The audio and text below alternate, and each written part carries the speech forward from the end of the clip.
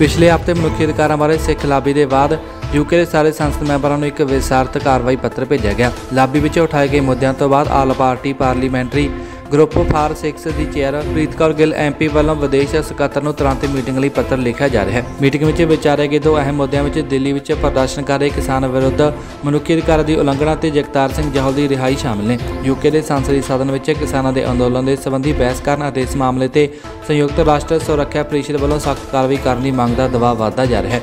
UK ਸੰਯੁਕਤ ਰਾਸ਼ਟਰ ਦੀ ਸੁਰੱਖਿਆ ਪਰਿਸ਼ਦ ਦਾ ਸਥਾਈ ਮੈਂਬਰ ਹੈ ਅਤੇ ਇਸ ਵੇਲੇ ਚੇਅਰ ਕਰ ਰਿਹਾ ਹੈ ਅਤੇ ਇਸ ਤੋਂ ਬਾਅਦ ਯੂਐਸ ਹੋਵੇਗਾ। ਸੰਯੁਕਤ ਰਾਸ਼ਟਰ ਦੇ ਚਾਰਟਰ ਦੀ ਧਾਰਾ 39 ਦੇ ਤਹਿਤ ਸੁਰੱਖਿਆ ਪ੍ਰੀਸ਼ਦ ਦੇਸ਼ ਵਿਸ਼ੇਸ਼ ਸਥਿਤੀਆਂ ਵਿੱਚ ਸ਼ਾਂਤੀ ਲਈ ਖਤਰੇ ਨੂੰ ਮੌਜੂਦਗੀ ਨਿਰਧਾਰਤ ਕਰ ਸਕਦੀ ਹੈ। ਸਿੱਖ ਫੈਡਰੇਸ਼ਨ ਦੇ ਚੇਅਰ ਭਾਈ ਅਮਰੀਕ ਸਿੰਘ ਨੇ ਕਿਹਾ ਕਿ ਕਿਸਾਨਾਂ ਦੇ ਅੰਦੋਲਨ ਨੂੰ ਦੁਨੀਆ ਦਾ ਹੁਣ ਤੱਕ ਦਾ ਸਭ ਤੋਂ ਵੱਡਾ ਅੰਦੋਲਨ ਮੰਨਿਆ ਜਾਂਦਾ ਹੈ, ਜੋ ਕਿ ਕਈ ਮਹੀਨਿਆਂ ਤੋਂ ਜਾਰੀ ਹੈ। ਇਸ ਦੇ ਹੱਲ ਦਾ ਕੋਈ ਆਸਰ ਨਹੀਂ ਦੇਖਿਆ ਜਾ ਰਿਹਾ। ਪਿਛਲੇ ਕੁਝ ਹਫ਼ਤਿਆਂ ਤੋਂ ਮਨੁੱਖੀ ਅਧਿਕਾਰਾਂ ਦੀ ਗੰਭੀਰ ਉਲੰਘਣਾ ਦੇ ਮਾਮਲੇ ਵੱਧਦੇ ਜਾ ਰਹੇ ਨੇ। ਇਸੇ ਸੰਯੁਕਤ ਰਾਸ਼ਟਰ ਦੇ ਚਾਰਟਰ ਦੀ ਧਾਰਾ 41 ਦੇ ਤਹਿਤ ਸੁਰੱਖਿਆ ਪ੍ਰੀਸ਼ਦ ਭਾਰਤ ਵਿਰੁੱਧ ਕਾਰਵਾਈ ਕਰ ਸਕਦੀ ਹੈ। ਯੂਕੇ ਸਰਕਾਰ ਨੂੰ ਹੋਰ ਮੈਂਬਰ ਰਾਜਾਂ ਤੇ ਐਮਨੈਸਟੀ ਇੰਟਰਨੈਸ਼ਨਲ ਵਰਗੇ ਗੈਰ ਸਰਕਾਰੀ ਸੰਗਠਨਾਂ ਦੇ ਨਾਲ ਕੰਮ ਕਰਨ ਲਈ ਵੀ ਕਿਹਾ ਜਾ ਰਿਹਾ ਹੈ। ਇਸ ਦਾ ਉਦੇਸ਼ 22 ਫਰਵਰੀ ਤੋਂ 23 ਮਾਰਚ 2021 ਤੱਕ ਸੰਯੁਕਤ ਰਾਸ਼ਟਰ ਮਨੁੱਖੀ ਅਧਿਕਾਰ ਕੌਂਸਲ ਦੇ 46ਵੇਂ ਨਿਯਮਤ ਸੈਸ਼ਨ ਵਿੱਚ ਕਿਸਾਨੀ ਪ੍ਰਦਰਸ਼ਨ ਬਾਰੇ ਵਿਚਾਰ ਵਟਾਂਦਰੇ ਅਤੇ ਕਾਰਜਾਂ ਤੇ ਵਿਚਾਰ ਕਰਨ ਅਤੇ ਕਾਰਵਾਈ ਕਰਨ ਨੂੰ ਯਕੀਨੀ ਬਣਾਉਣਾ ਹੈ। Bureau report, Awaaze Qaum TV.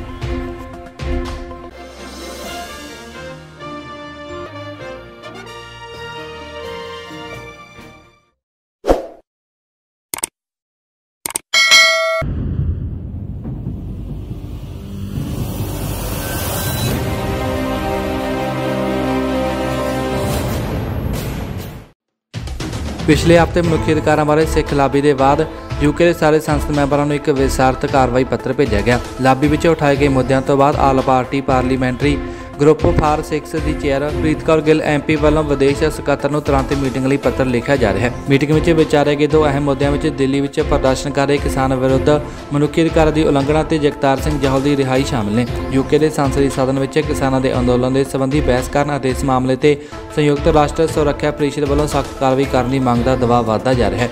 UK ਸੰਯੁਕਤ ਰਾਸ਼ਟਰ ਦੀ ਸੁਰੱਖਿਆ ਪਰਿਸ਼ਦ ਦਾ ਸਥਾਈ ਮੈਂਬਰ ਹੈ ਅਤੇ ਇਸ ਵੇਲੇ ਚੇਅਰ ਕਰ ਰਿਹਾ ਹੈ ਅਤੇ ਇਸ ਤੋਂ ਬਾਅਦ ਯੂਐਸ ਹੋਵੇਗਾ। ਸੰਯੁਕਤ ਰਾਸ਼ਟਰ ਦੇ ਚਾਰਟਰ ਦੀ ਧਾਰਾ 39 ਦੇ ਤਹਿਤ ਸੁਰੱਖਿਆ ਪ੍ਰੀਸ਼ਦ ਦੇਸ਼ ਵਿਸ਼ੇਸ਼ ਸਥਿਤੀਆਂ ਵਿੱਚ ਸ਼ਾਂਤੀ ਲਈ ਖਤਰੇ ਨੂੰ ਮੌਜੂਦਗੀ ਨਿਰਧਾਰਤ ਕਰ ਸਕਦੀ ਹੈ। ਸਿੱਖ ਫੈਡਰੇਸ਼ਨ ਦੇ ਚੇਅਰ ਭਾਈ ਅਮਰੀਕ ਸਿੰਘ ਨੇ ਕਿਹਾ ਕਿ ਕਿਸਾਨਾਂ ਦੇ ਅੰਦੋਲਨ ਨੂੰ ਦੁਨੀਆ ਦਾ ਹੁਣ ਤੱਕ ਦਾ ਸਭ ਤੋਂ ਵੱਡਾ ਅੰਦੋਲਨ ਮੰਨਿਆ ਜਾਂਦਾ ਹੈ।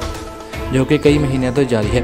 ਇਸ ਦੇ ਹੱਲ ਦਾ ਕੋਈ ਆਸਰ ਨਹੀਂ ਦੇਖਿਆ ਜਾ ਰਿਹਾ। ਪਿਛਲੇ ਕੁਝ ਹਫ਼ਤਿਆਂ ਤੋਂ ਮਨੁੱਖੀ ਅਧਿਕਾਰਾਂ ਦੀ ਗੰਭੀਰ ਉਲੰਘਣਾ ਦੇ ਮਾਮਲੇ ਵੱਧਦੇ ਜਾ ਰਹੇ ਨੇ। ਇਸੇ ਸੰਯੁਕਤ ਰਾਸ਼ਟਰ ਦੇ ਚਾਰਟਰ ਦੀ ਧਾਰਾ 41 ਦੇ ਤਹਿਤ ਸੁਰੱਖਿਆ ਪ੍ਰੀਸ਼ਦ ਭਾਰਤ ਵਿਰੁੱਧ ਕਾਰਵਾਈ ਕਰ ਸਕਦੀ ਹੈ। ਯੂਕੇ ਸਰਕਾਰ ਨੂੰ ਹੋਰ ਮੈਂਬਰ ਰਾਜਾਂ ਤੇ ਐਮਨੈਸਟੀ ਇੰਟਰਨੈਸ਼ਨਲ ਵਰਗੇ ਗੈਰ ਸਰਕਾਰੀ ਸੰਗਠਨਾਂ ਦੇ ਨਾਲ ਕੰਮ ਕਰਨ ਲਈ ਵੀ ਕਿਹਾ ਜਾ ਰਿਹਾ ਹੈ।